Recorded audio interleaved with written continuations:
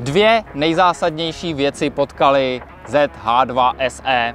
Je to podvozek, jsou to brzdy. Když začnu u brzd, jsou tady nový Brembo stylémy, třmeny, k tomu je radiální pumpa, opletená brzdová hadice. Druhá věc je ještě zásadnější, je tady nový podvozek. Je tady semiaktivní podvozek Skyhook, takže to má držet tu motorku ještě v rovině. Sám si vyhodnocuje tvrdost, je tady několik jízdních režimů a je to podvozek, který u té základní verze se mi úplně nepozdával. Když člověk trošku víc na to tlačil, tak byla znát nějaká lehká rozpočtovost a třeba zadní tlumič, ten jste si pořádně ani nenastavili. U takhle silné motorky to mně přišlo jako dost zásadní nedostatek.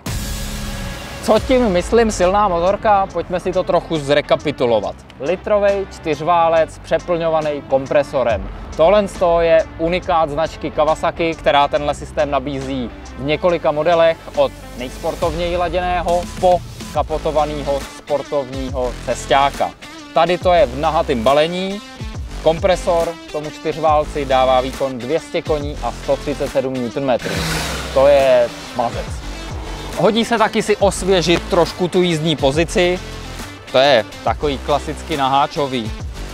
Je znát, že ta holka je trochu těžší, nohy sportovní. Sedátko není nějak příliš vysoko, není to úplně superbike, že by byl nakopnutý.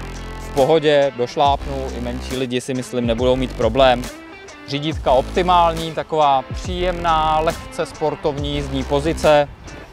Nemám s tím vůbec problém. TFT displej, dobře přehledný, jenom to chce se naučit ho ovládat, protože ta intuitivita není úplně 100%.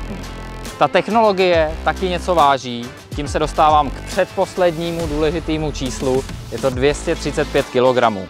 Tohle to není ten nejlehčí super naháč, ale má svoje zbraně, jiný zbraně. To si ukážem za chvíli. Poslední zásadní číslo je cenovka.